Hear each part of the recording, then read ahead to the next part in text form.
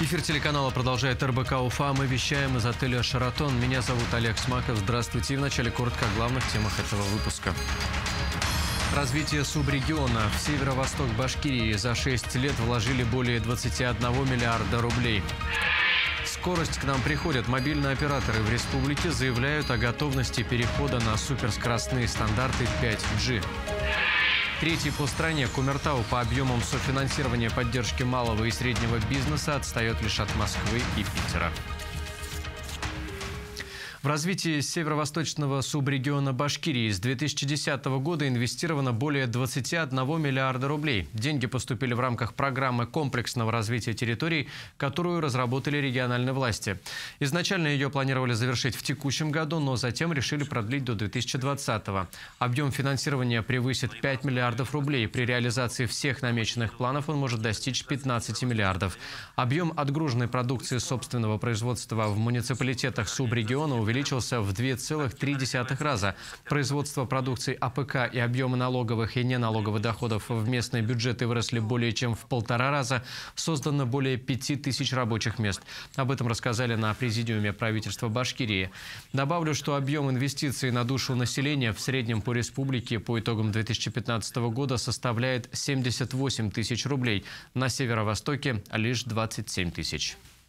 Сейчас э, мы должны понимать в каких, прежде всего, направлениях и какие именно бюджетные инвестиции нам нужно осуществить для того, чтобы обеспечить ускоренные темпы экономического роста. Сейчас их а, оценка осуществление и планирование этих инвестиций будет происходить именно прежде всего с точки зрения достижения целевых показателей программы социально-экономического развития. То есть если, показать, если эти инвестиции способствуют достижению целевых показателей, они будут осуществляться, может быть даже ускоренными темпами. Мобильные операторы заявляют о готовности запустить супербыстрые сети пятого поколения. Они будут способны предоставить абонентам новые виды услуг и вывести на новый уровень уже существующие сервисы. Аналитики отмечают, что операторам мобильной связи не потребуется много времени для запуска сетей на основе технологий пятого поколения. Это связано с тем, что спрос ожидается высоким. В России тестовые сегменты 5G в 2018 году планируют развернуть МТС и Мегафон. Все упирается в сами сами мобильные устройства, которые пока не имеют возможности работать в новых сетях. Эксперты рынка прогнозируют их появление совместимых смартфонов и планшетов не раньше 2018 года, а массовое покрытие 5G ожидается лишь в 2020. Технология сможет обеспечить возможность подключения к интернету с максимальной скоростью до 10 гигабит в секунду против 150 мегабит в сетях 4G. А, развитие сетей пятого поколения, оно, в отличие от стандартов предыдущих поколений, а, имеет принципиальную особенность. То есть она будет развиваться уже на действующей сети LTE. А, Соответственно, что позволит незначительный объем инвестиций тратить именно на внедрение этого стандарта, потому что это будет некая надстройка. И, конечно же, это потребует дополнительных инвестиций в развитие транспортной сети.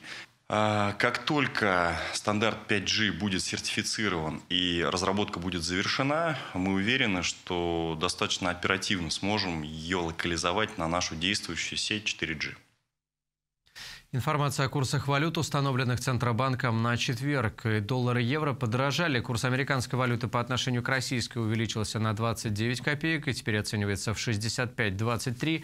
Европейская подорожала на 50 копеек, 69,34. Лучшие обменные курсы на среду. Покупка доллара в Урал Капиталбанке за 64 рубля 83 копейки. Продажа в Россельхозбанке за 65,14.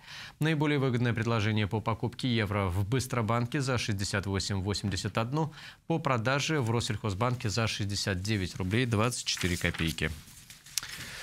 Кумертау занял третье место после Москвы и Санкт-Петербурга по объему софинансирования поддержки малого и среднего бизнеса из федерального бюджета. Моногород привлек из федеральной казны 88 миллионов рублей.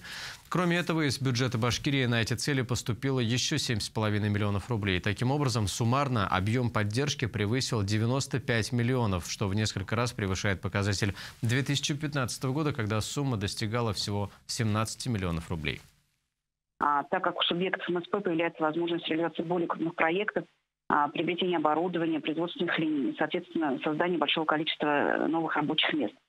А нами было предложено в новой программе поддержки МСП, которую мы разрабатывали на 2016 год, увеличить сумму поддержки до 15 миллионов рублей на одного получателя. А, это было предложено сделать только для моногородов и по двум видам поддержки – это лизинг и приобретение оборудования. На сегодня в Кумертау работают более 2000 малых и средних предприятий. Из них 111 получили финансовую поддержку от государства. К концу года в моногороде должно появиться более 230 новых рабочих мест. У меня пока все. Встретимся в 19.30.